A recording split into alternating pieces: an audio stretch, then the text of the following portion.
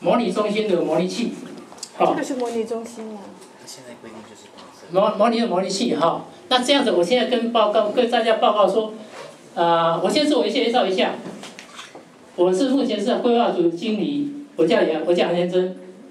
刚刚那个那位经理提到，就是说我们运转员有一些是目前有有厂的运转执照，我就是其中一个，我是其中之一的哦。我以前是在火化厂，火化厂待了十呃十十七年期间哦。那我现在跟报告是就是说。这个模拟器的功能是什么？它是作为我们新进人员拿到运转执照，必须要训练的一个场所，模拟器训练场所，以及这位运转拿到执照之后是不是永远有效？不是，他定期要回到模拟器来做训练。一个运转员拿到执照之后，他一年期间还要一百二十小时的训练，其中。有九十小时是课堂训练，有三十小时要接受我们模拟器训练。每一年里面，好，这模拟器里面是这样，那现场的持照人员回到这边再训练，每一每一个十五天一个赛个一个循环，十五天一个循环就要训练一次，训练一次三天两次，一次三天到两天不等，好，反正一年里面就要超过一百二十小时。实物上来看，我们都会超过一百六小时以上，哦，这是。一个运转员，他在拿到执执照之后，必须要回到模拟器来做再训练一个机制，哈。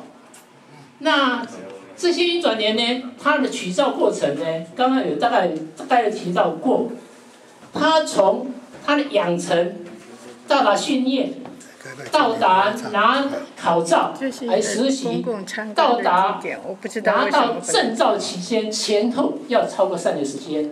他总训练时间一定要超过一千小时，所以他上非常辛苦。我们规定，我们这个为什么严格？什么叫严格？我们在训练期间都要求他们住在这里。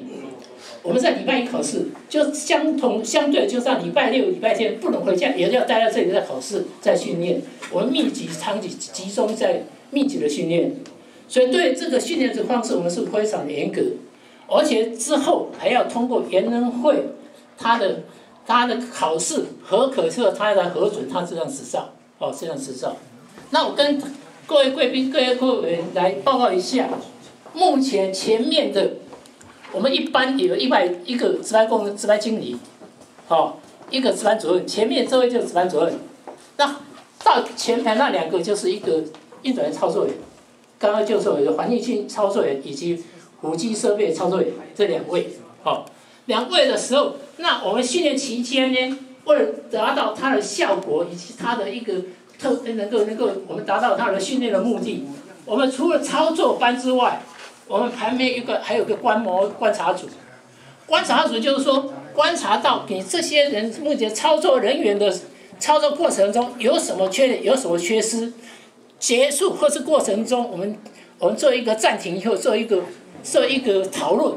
他可以把意见提出来，所以他啊给可以给了我们可以交换，也就是操作组会变成观察组，观察变操作，两个是对照的，所以我们这是这个这个过程是在目前医药控制室里面是没办法达到的。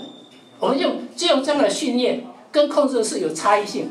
事实上，整个这里模拟器的所有操作功能是跟主控室是完全一样的，虽然它是模拟设备，它操作功能是一一致的，好。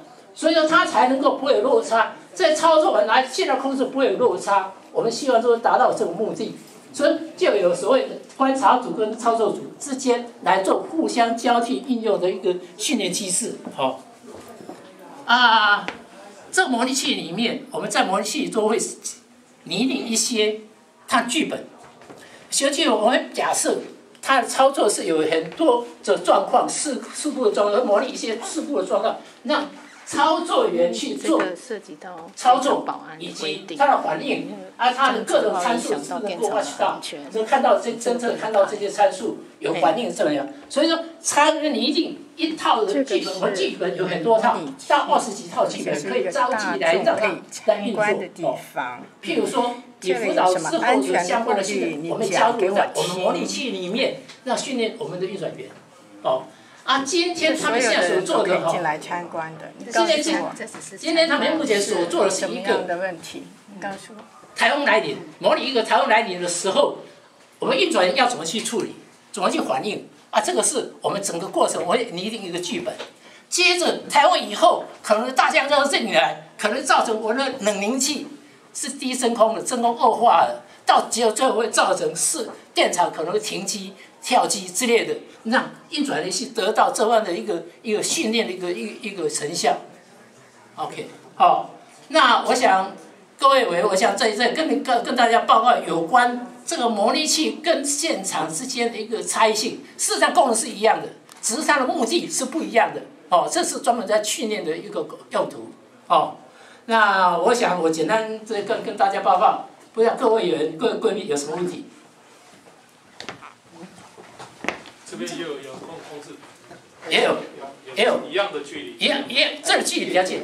我说跟那边刚刚比，这里是这里比较近，就就就在旁边而已。我们这训练的一个模具不必须要跟现在一致，这个就在旁边而已。OK。那各位贵宾如果没有问题哦，我们到下一站哦，就是那个龙门度数馆，那请各位贵宾往外走。